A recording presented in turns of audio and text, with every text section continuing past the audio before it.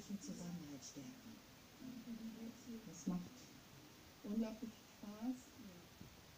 Und ähm, ja, auch so, wenn der Wiedererkennungswert hier ist, da ist, so wie heute, äh, die sich wirklich auch freuen, den Hund zu sehen. Und die Susi hat ja auch Spaß, also für sie ist das auch kein Stress. Die Nachfrage ist so groß, dass die Ehrenamtlichen noch Verstärkung brauchen könnten. Der Westen hilft mit einer Rekordsumme weltweit Müttern in Not. Großen WDR-Spendenaktion zusammengekommen. Den Löwenanteil erbrachte das WDR 2 Weihnachtswunder